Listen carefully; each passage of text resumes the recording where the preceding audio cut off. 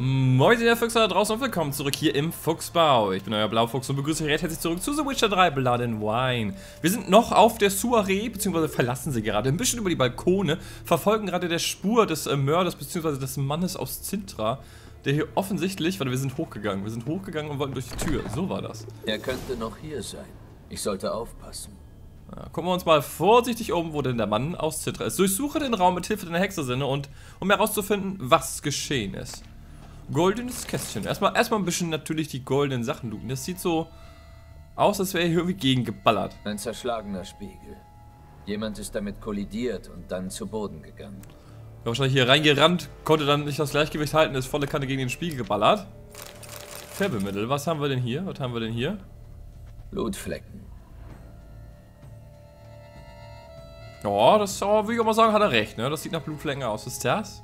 Glieder einer zerrissenen Kette. An der muss das Juwel gehangen haben. Hm? Ein Schmuckkästchen. Das Schloss ist kaputt. Vermutlich aufgebrochen. Entweder Schlüssel vergessen oder mal eben schnell auf der Flucht noch was ausrauben. Man weiß ja nie. Ah, guck mal hier, was ist ja? Der Wandleuchter ist verbogen und blutbeschmiert. Wollte sich da jemand dran festhalten? Ich wollte gerade sagen, wenn er dagegen gerannt wäre, wäre er eine ganz schön große Person. Ja. Blut am Fensterrahmen. Ob jemand rausgeklettert ist oder rausgefallen? Ja, das kann auch sein. Wahrscheinlich eher rausgefallen, weil er durch die Tür, wo wir gerade rein sind, ist er definitiv reingekommen. Sieht kostbar aus. Aber deswegen bin ich nicht hier. Wolltest du dich noch ein bisschen rauben, wo wir schon mal da sind? Was haben wir denn hier noch? Ein leeres Tintenfass. Umgeworfen. Es zeigt in den Raum. Da. Die Leinwand ist zerschnitten. Da war jemand mit einem Messer dran. Da ist auch das passende Messer. Ein reich verziertes Jagdmesser. Damit wurde wohl gekämpft. Gehen wir mal weiter. Verschlossen. Kein Schlüssel in Sicht. Gehen wir nicht weiter. Habe ich noch irgendwas übersehen? Wir gehen nochmal zurück.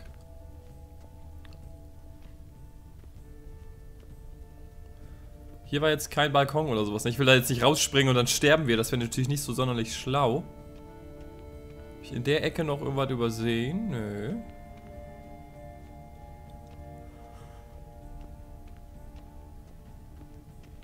Ja, Gerald, hilf mir auf die Sprünge. Was nu?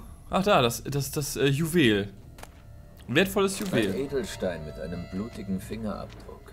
Den wollte der Dieb wohl haben. Daneben kleine Kettenglieder. Von einer zerrissenen Halskette vielleicht? Offenbar hat es einen Kampf gegeben. Beauty. Das Juwel war wohl in der Schachtel. Der Zintrier wollte es stehlen und ist erwischt worden.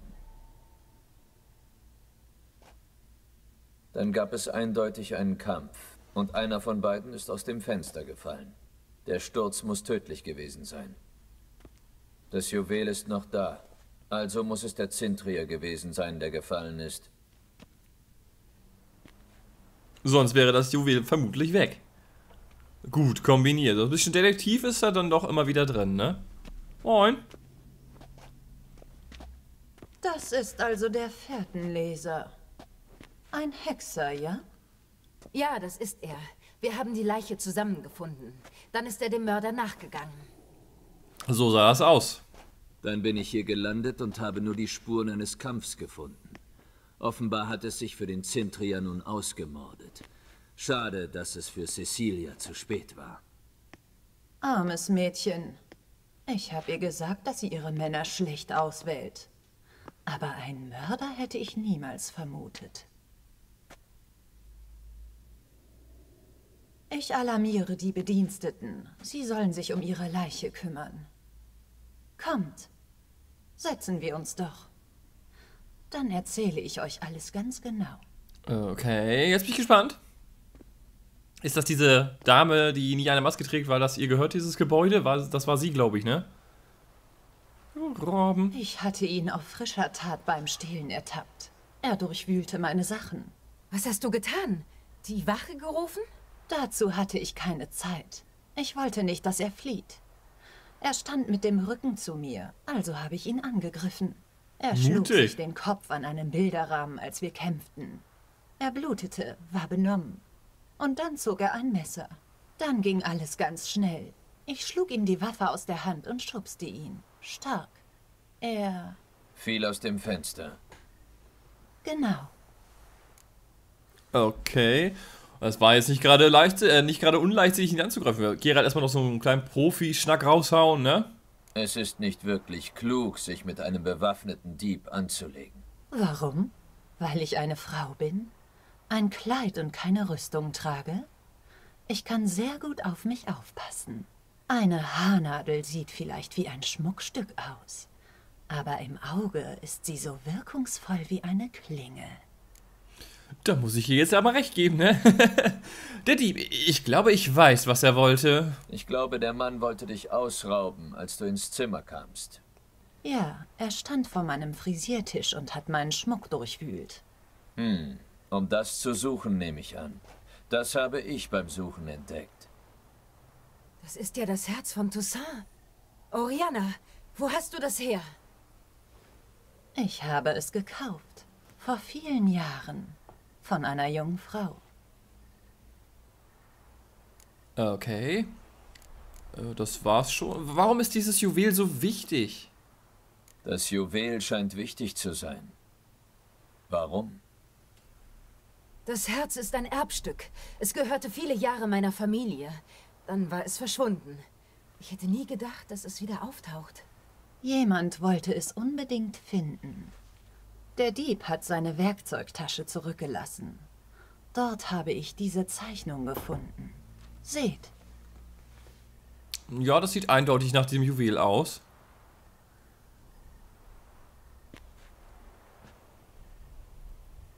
Das Herz von Toussaint. Die Zeichnung ist sehr genau. Der Zintria hatte einen Auftrag.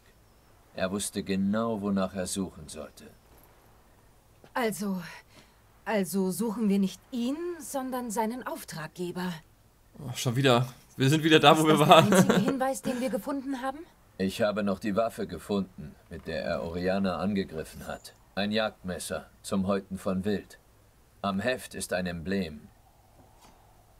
Dieses Wappen benutzen die Herren von Duntin. Der derzeitige Burgherr ist ein begeisterter Jäger. Vielleicht unsere nächste Spur?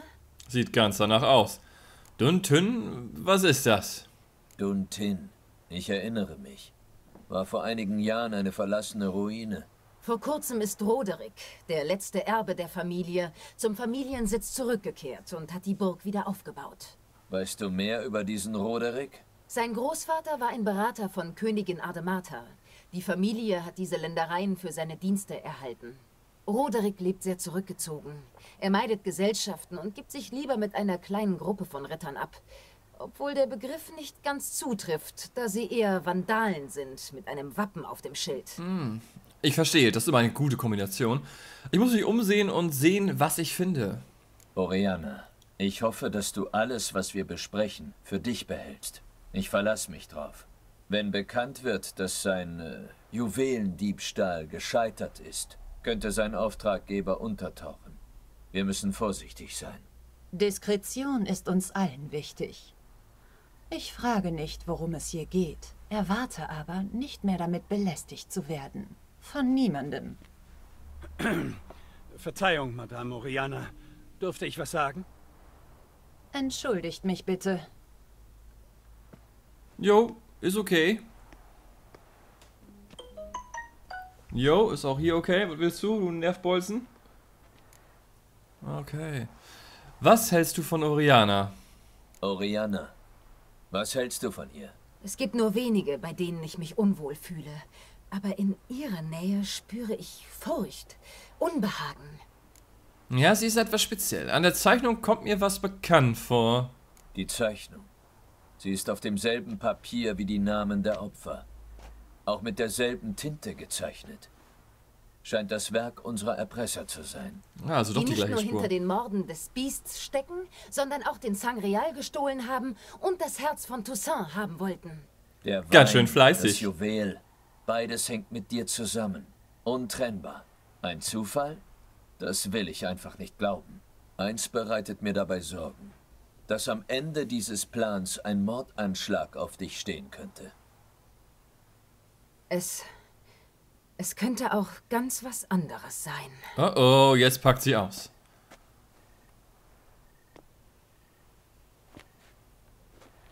Wie meinst du das? Meine Schwester Sienna könnte hinter der Verschwörung stecken. Sie. Sie hat den Hof verlassen, als wir Kinder waren. Meine Eltern verbannten sie aus dem Herzogtum. Seitdem habe ich sie nicht gesehen. Warum wurde sie verbannt? Ah ja, da ist auch schon, da ist auch schon die Frage. Was hat deine Schwester getan, dass sie verbannt wurde? Sienna war verflucht. Hatten die Eltern Streit mit einem Magier? Nein, sie wurde zu einem unglücklichen Zeitpunkt geboren. Angeblich lastet auf ihr der Fluch der schwarzen Sonne. Gerald, stimmt das? Kann jemand böse sein, weil er während der falschen Mondphase geboren wurde? Könnte sein. Aber es kann auch sein, dass er von Geburt an wie ein Aussätziger behandelt wurde. Abgesondert, weggestoßen, geächtet. so ein bisschen Diana hexermäßig. hatte es wohl nicht leicht. Sie... Sie war wütend auf die ganze Welt. Sie hat sich minderwertig gefühlt, verletzt und alles hinter Selbstvertrauen und Arroganz versteckt. Sie konnte so grausam sein. Ich erinnere mich an einen Vorfall. Sie redete Cédric de Coulbert ein, die Zukunft in ihren Träumen sehen zu können. Wir waren Kinder und Cédrics Bruder war in mich verliebt. Das harmlose Verliebtsein von Kindern. Sienna wusste davon. Deshalb hat sie Cédric von einem ihrer Träume erzählt. Dass er sterben würde. Durch die Hand seines Bruders. Cédric stahl das Schwert seines Vaters und tötete seinen Bruder. Sie zerstörte zwei Leben mit einem Streich. Cédric trauert bis heute. Das ist schon ganz schön arschlochmäßig, muss man sagen. Schließlich verbannten sie sie aus dem Palast. Vor über zehn Jahren. Ich vermisse sie schrecklich. Okay, denkst du, sie hat damit was damit zu tun? Me- Meinst du Du wirklich? denkst, deine Schwester könnte damit zu tun haben? Warum? Weißt du, sie war schon immer besitzergreifend und eifersüchtig auf alles, was ich hatte und sie nicht. Rivalität. Das ist doch normal unter Schwestern. Stimmt. Vermutlich habe ich so viel ausgeteilt, wie ich eingesteckt habe. Manchmal vermisse ich das richtig. Der Wein, dieser Diebstahl war der erste Hinweis. Das sieht ihr ähnlich. Sie hat mir immer meine Spielsachen gestohlen. Aber sicher war ich mir erst, als ich das Herz von Toussaint gesehen habe. Sienna hat es von Vater geschenkt bekommen, als meine Eltern sie noch für ein ungezogenes kleines Mädchen hielten. Jemand wollte meinen Wein. Dann sollte unser Familienjuwel gestohlen werden. Oder eher zurückgeholt? Das ist meine Schwester, ganz sicher. Eine gefallene Prinzessin, die sich ihre Wünsche erfüllt, verlorenen Luxus wünscht. Hm, könnte sein. Deine Mission hat sich geändert. Geh nach Duntin und finde Sienna, so sie sich dort aufhält. Egal, was sie getan hat, ihr darf nichts geschehen, in welcher Form auch immer. Dafür musst du Sorge tragen. Mm, Ich werde dafür sorgen, ich, ich, ich kann nichts versprechen, wenn die da komplett am Ausrasten ist. Ne? Leider kann ich ihre Sicherheit nicht garantieren. Besonders, wenn sie für diese Verbrechen verantwortlich ist. Hexer, das war keine Bitte. Gnädige Herrin, Gerald, ich möchte euch jemanden vorstellen. Regis, was für eine Überraschung. Du in Beauclair? Und das ist? Mein geschätzter Freund Detlef van der Eretein. Er stammt aus Nasair. Wir stellen unser Können der Jagd des Hexers zur Verfügung. Ja, wunderbar. Aber warum seid ihr hier bei Oriana? Sie haben mich überraschend besucht. Also habe ich Regis auf ein Glas Wein eingeladen. Wir kennen uns schon seit oh, Urzeiten, könnte man sagen. Okay. Ist sie etwa auch eine von Hexer, denen? wie ich höre, kennst du Regis. Und ihr seid sogar Freunde? Das überrascht dich? Machen wir das mal so. Das scheint dich zu überraschen. Warum? Ich hätte nie gedacht, dass Regis sich mit einem Hexer verstehen würde. Lass dich nicht täuschen, Liebes. Gerald hat viele Vorzüge. Er versteckt sie nur sehr gut vor der Welt. Du hast gesagt, dass ihr ihn bei seinem Auftrag unterstützt. Dann hängt das mit dem Biest zusammen? Meister Hexer, vielleicht kannst du meine Neugier stillen. Wie ist es, einem Monster gegenüberzustehen? Und man hat nur zwei Möglichkeiten. Töten oder getötet werden. Ich stürze mich nicht mit dem Schwert auf jedes Monster, auch wenn du anderes gehört hast. Bei manchen hilft es auch, zu reden. Ich frage mich, was dir so ein Monster zu sagen hätte. Vielleicht möchte es sich entschuldigen. Wirklich? Wofür möchte sich ein Monster bei einem Hexer entschuldigen? Für das Töten. Denn manchmal bleibt ihm keine andere Wahl, wenn die Liebsten beschützt werden müssen. Genau, wie Menschen. Genau wie Menschen. Wenn sie in einer solchen Situation sind, töten auch sie. Du verstehst das? Hm.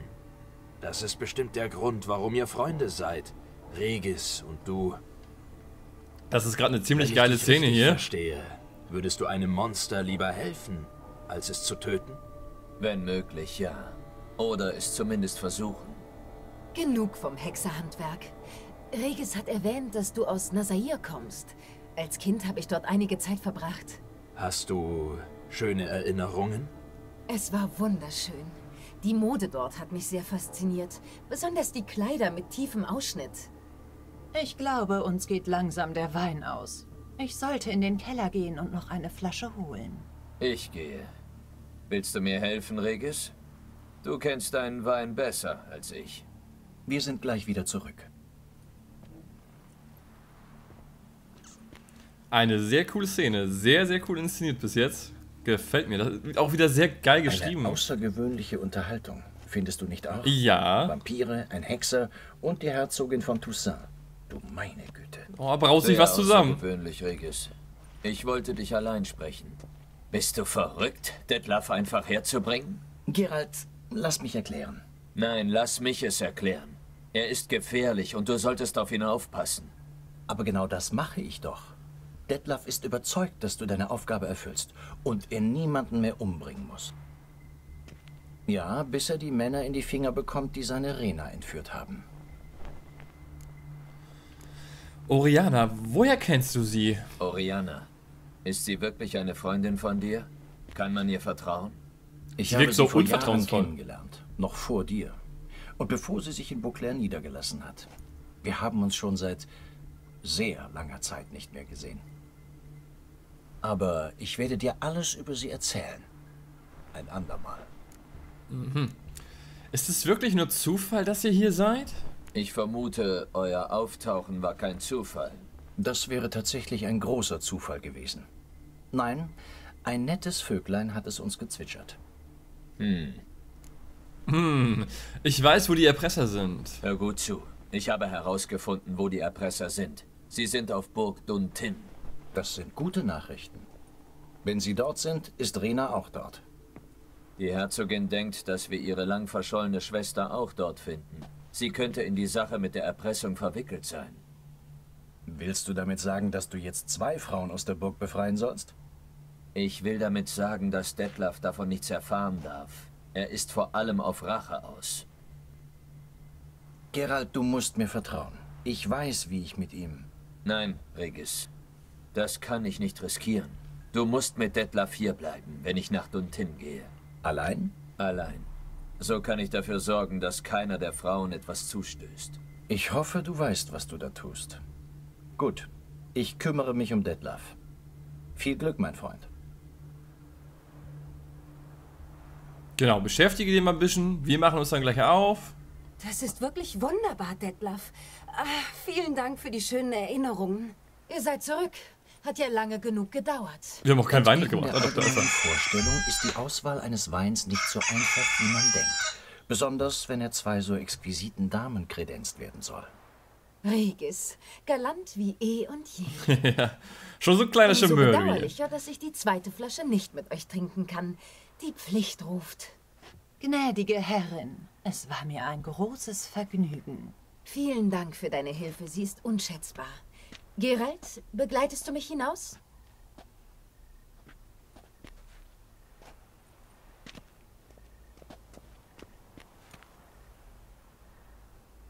Er hat einen coolen Anzug, der Deadlove-Typ da. Sieht nicht schlecht aus. Du hast besondere Freunde. Dieser Detlef.